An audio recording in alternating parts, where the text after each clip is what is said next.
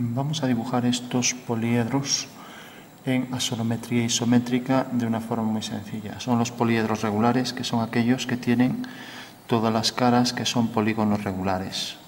Tenemos este con caras cuadradas, estos tres con caras triangulares, equiláteras, y este con, cara, con caras pentagonales. Bueno, entonces lo primero vamos a partir, por ejemplo, de un cubo en asonometría que tendrá las tres caras igualmente visibles.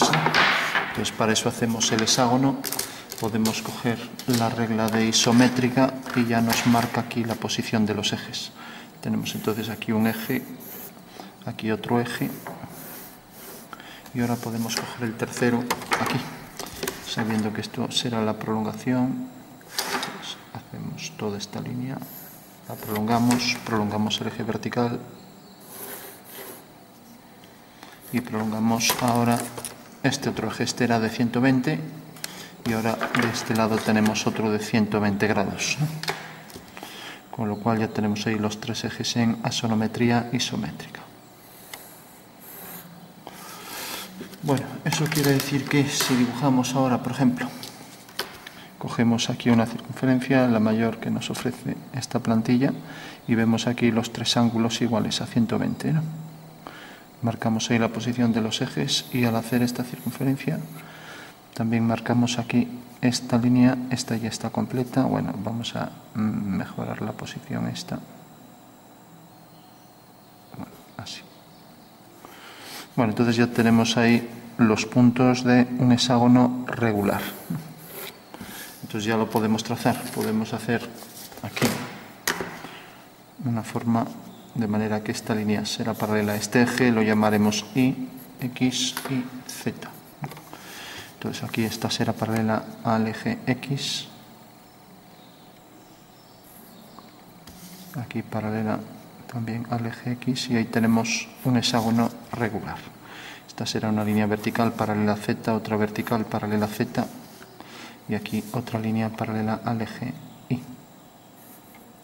bueno, tenemos ya ahí la forma de un hexágono regular que puede ser tanto la representación de un cubo, como vemos aquí el contorno es un hexágono regular, como la representación de esta figura, ya que si nos ponemos así, pues como vemos también el contorno es un hexágono regular.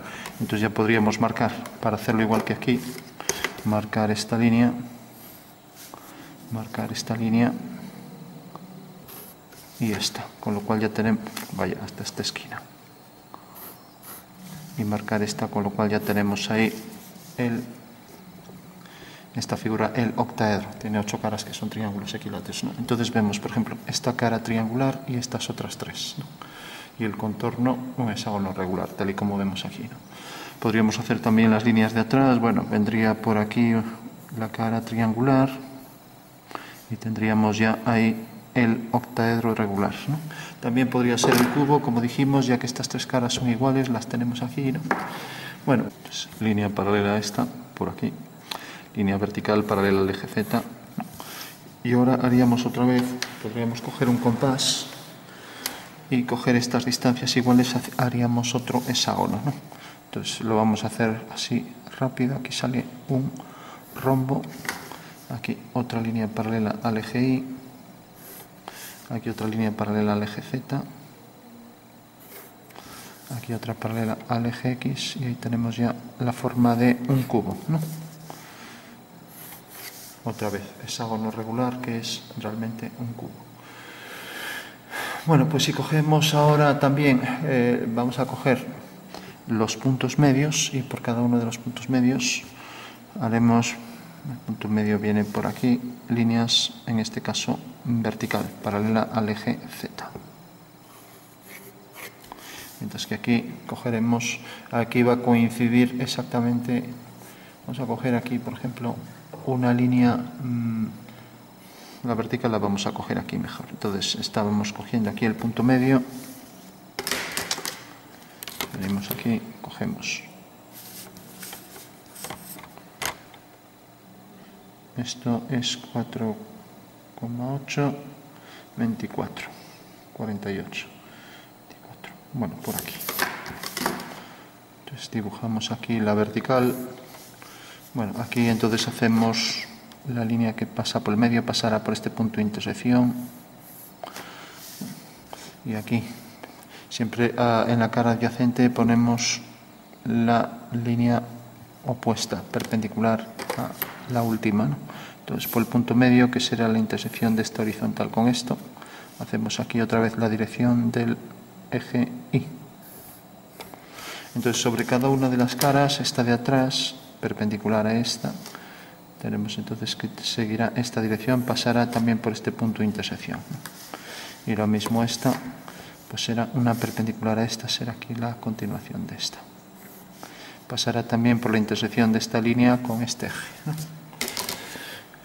Bueno, mm, ahora lo que haremos será coger eh, el segmento que está en proporción áurea con esto. ¿no? Entonces vamos a colocarlo aquí.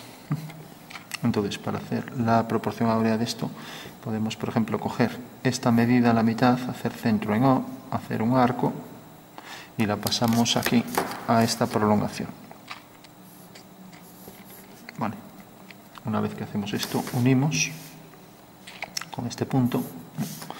Y ahora lo que vamos a hacer es hacemos centro en M, con la distancia MO hacemos un arco, de manera que pasamos esta distancia para aquí, o sea, O'. Y por último pasamos haciendo centro en T, esta distancia TO' para aquí, con lo cual tendremos ya la medida del icosaedro regular que se inscribe en el cubo. O sea, tenemos este segmento y tenemos el completo. O sea que será esto y esto es lo que colocamos directamente. Cogemos esta medida y la centramos aquí. Podemos coger el punto medio, coger esto, el punto medio, coger esto y de aquí a aquí coger esto otro. Tenemos ya ahí la medida del icosaedro. Bueno, pues sobre cada cara hay que colocarlo. Ahora hay que colocarlo también aquí por el mismo procedimiento y tenemos aquí el la arista del icosaedro, siempre en cada cara adyacente perpendicular a el que está al lado. Entonces aquí la perpendicular, otra vez cogemos este segmento aquí, lo colocamos aquí. Y así vamos ya teniendo todas las aristas. En la cara de enfrente con la misma dirección colocamos aquí entonces el, la arista. En la cara de enfrente lo mismo, la misma dirección y viene de punto medio, pasa por este punto hasta aquí a punto medio. Sigue la dirección del eje X. Entonces decíamos que esto se proyectaba aquí abajo y esto se proyecta aquí abajo. De manera que aquí sale otra vez la arista del icosaedro. Y aquí enfrente, pues igual, proyectamos, esto será la continuación, proyectamos este punto y viene desde aquí hasta aquí. O sea ahí detrás tenemos también la arista del icosaedro. Bueno, ya tenemos la arista sobre todas las eh, sobre todas las caras. Entonces empezamos a unir, entonces esto, con esto tenemos ya aquí el primer triángulo equilátero. Esto con esto tenemos aquí otro triángulo equilátero y seguimos. Entonces vamos uniendo, por ejemplo, esto con esto, otro triángulo equilátero. Aquí otra arista de esa figura. Tenemos esto unido con esto, aquí otro triángulo equilátero Aquí, por ejemplo, otro triángulo y así con todo. Aquí otro, este, aquí otro, este. Aquí, por ejemplo, tenemos estas, estos dos puntos con esto y con esto. Ahora, por ejemplo, tenemos estos dos aquí, este de aquí. Tenemos este aquí y ahí tenemos ya la figura del icosaedro. Esto lo unimos con esto. Y ahora aquí abajo tenemos esto, unido con esto aquí, este, unido con este, y aquí una línea paralela a esta de aquí. Bueno, por último tenemos esta cara, tenemos esta, esta cara, y tenemos esta, esta cara, y tenemos esta, con lo cual la figura ya está completa. Entonces vamos a marcar las líneas que son visibles, ya que ahí no se distingue mucho. Entonces a ver con esto a tinta, entonces tenemos aquí esta línea, tenemos esta aquí, tenemos esta aquí, y ahora tenemos esta detrás, tenemos esta por delante, esta por delante, también esta aquí por delante, por aquí por delante, también por delante. Aquí igual, porque tenemos ya ahí el icosaedro dibujado en asonometría isométrica. Las líneas de atrás, eso las pongo discontinuas.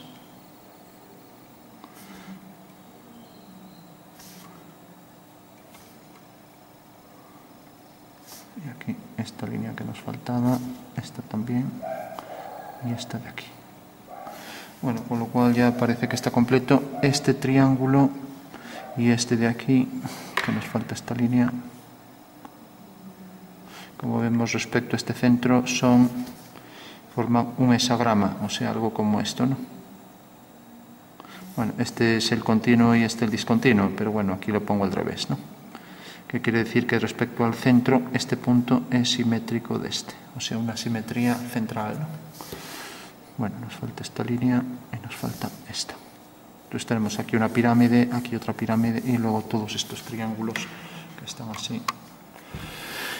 Bueno, entonces tenemos ahí ya la figura del icosaedro y dentro del icosaedro tenemos el cubo. Vamos a marcar el cubo.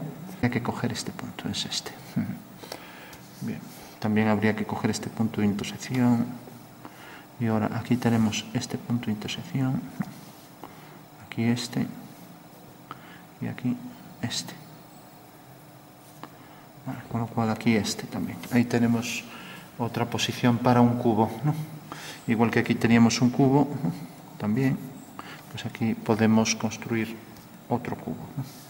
Como vemos pasa por esos puntos. Entonces marcamos aquí esta línea, marcamos aquí esta otra, marcamos aquí esta, aquí esta, como vemos es paralela a esta línea, aquí tenemos esta, y aquí tenemos esta línea de aquí, esta y esta y ahora esta de aquí. Tendríamos, por ejemplo, ahí la posición para un cubo.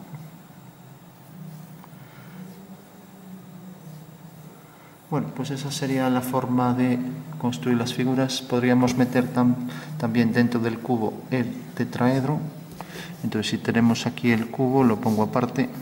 O sea, aquí tenemos el cubo, que es el hexágono regular de contorno. Bueno, pues para construir el tetraedro simplemente cogeríamos esta línea y cogeríamos aquí la de abajo. Entonces unimos este punto con este, este con este, por aquí detrás esta y esta.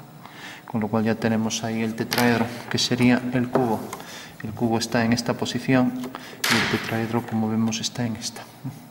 Entonces, al estar en esta, tenemos la lista superior, que es esta, estas tres, esta de atrás y estas dos. Con lo cual tendríamos ya el tetraedro al completo.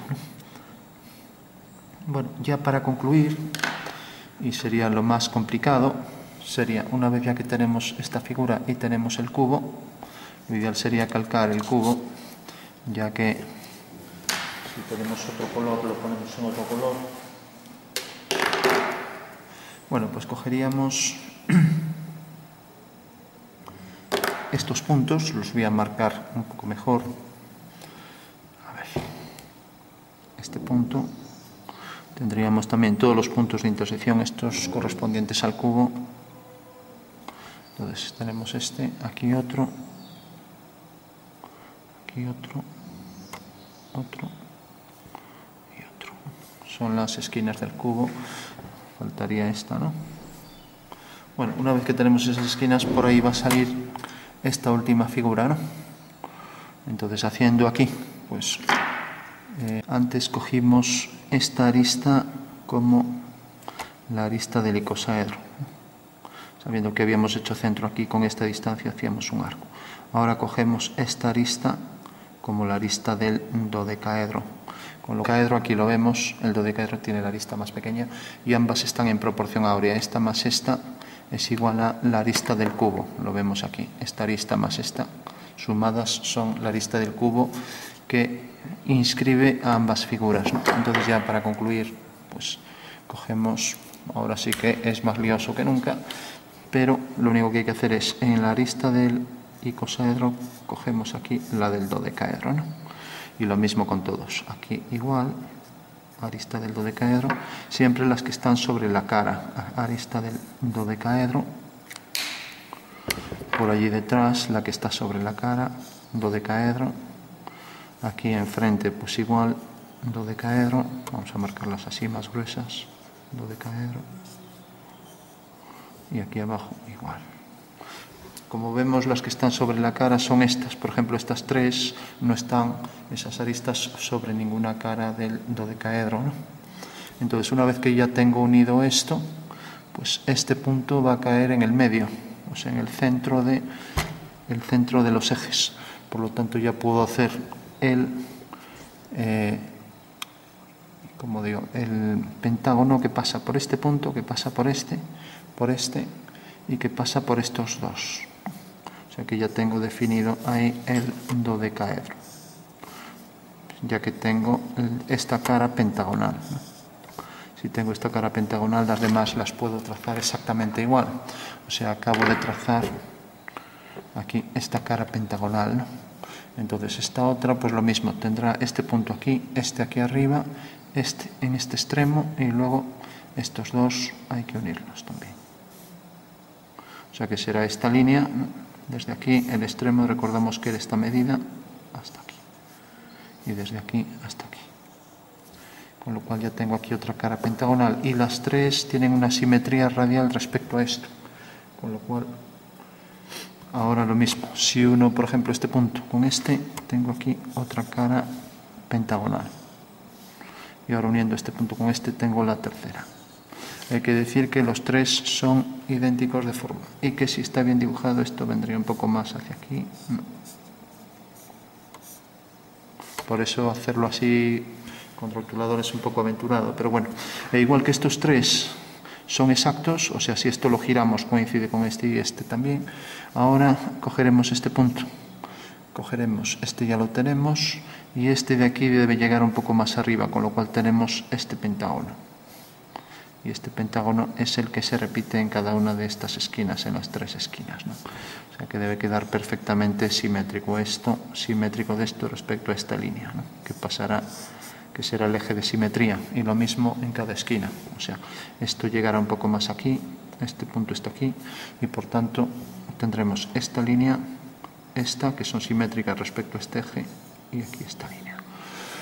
Entonces tendremos esta línea, luego esta vendrá así un poco más abajo y aquí lo mismo, la intersección, mm, tenemos la intersección, este punto, entonces unimos y aquí su simétrica y es el punto de abajo de esta esquina, con lo cual ya podemos ir, ya digo, con tener uno llega porque los tres son iguales en cada uno de los lados. Esta línea, pues será igual que esta, igual que esta al girarla respecto al origen. Entonces tenemos aquí, por ejemplo, esta discontinua, esta será discontinua también.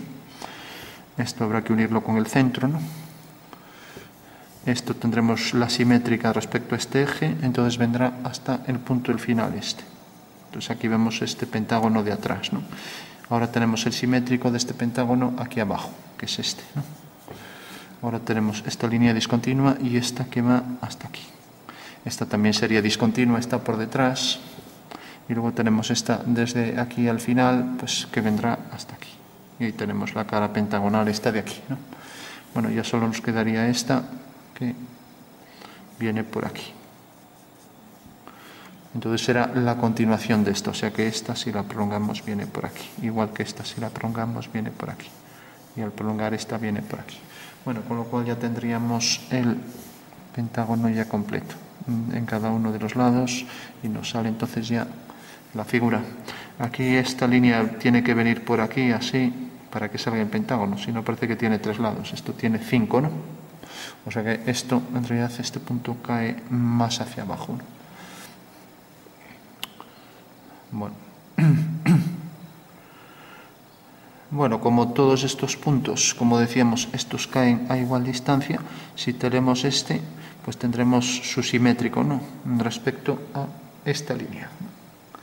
O sea, respecto a este eje, este será su simétrico ahí enfrente. Y lo mismo, este tendrá aquí su simétrico. O sea, es, perdón, este tendrá su simétrico aquí. y así con todos. ¿no? Y sabemos además que este está sobre esta arista. Con lo cual ya tenemos ahí la figura del de, oh, perdón, del, a ver si esto ya está gastado. O sea, hemos construido el dodecaedro a partir del icosaedro. Por último, ya para concluir, podríamos remarcar bien cómo quedaría. Entonces tenemos esta línea que viene por aquí, por aquí y por aquí. Hay una simetría radial, forman iguales ángulos, 120. Luego tendríamos esta línea y aquí tenemos el primer pentágono. Aquí tenemos el siguiente pentágono y aquí el tercero. Quizás vengo un poco más aquí hacia abajo, los tres pentágonos. Y ahora tenemos esta forma que se repite en cada una de las esquinas y aquí igual, con lo cual ya estaría completo. Y por último aquí la simétrica respecto a este eje. Eso quiere decir que si aquí hay un pentágono, pues aquí habrá su simétrico respecto a este eje, pero aquí en discontinua. De igual forma, esto también tendrá, igual que hicimos la simétrica de esto, pues también aquí, por ejemplo, esto tendrá la simétrica aquí enfrente. Entonces, esta línea, esta y esta también forman ángulos iguales, igual que estas tres, a 120 grados. ¿no?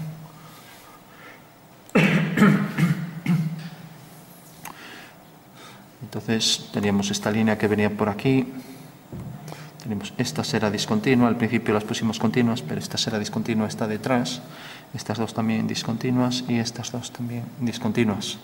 Hay una simetría radial con estas tres formas, de manera que también, igual que estos tres pentágonos están en esta simetría radial, estos tres de atrás discontinuos, pues también lo estarán. Y luego también hay una simetría radial respecto a estos tres pentágonos. Con lo cual ya tenemos el dodecaedro según esta posición. vamos a buscar el pentágono así. Buscar. Entonces tenemos esta cara, esta y esta, formando iguales ángulos y nos deja ver luego las caras laterales, estas tres. Mientras que el icosaedro lo teníamos en esta posición, de manera que esta arista era vertical y esta era la posición del icosaedro. Como vemos siempre esto en mitad de una cara y esto pues también. Aquí tenemos esta línea, aquí coincidentes sobre el centro de esta cara, ¿no? mientras que esta sobre el centro de esta cara, esta sobre el centro de esta cara y así con todas las demás. O sea que esa sería la posición y aquí también tendríamos lo mismo. Esto está colocado pues de manera que teníamos aquí esta arista vertical, aquí está, centrada en esta cara. Luego, después de esta arista vertical teníamos esta horizontal aquí, aquí arriba está horizontal y así con todos. ¿no? O sea que esta sería la colocación, de manera que viene así según el cubo y esta sería la colocación también según lo dibujamos aquí, o sea, sería algo como esto. Y las dos figuras perfectamente inscriptibles dentro de ese cubo, de manera que estos dos segmentos sumados ya sabemos que son igual a la lista del cubo, donde se inscriben ambos. ¿no? Bueno, pues esos son los tres poliedros que hemos dibujado junto con el cubo y el octaedro y el tetraedro regular.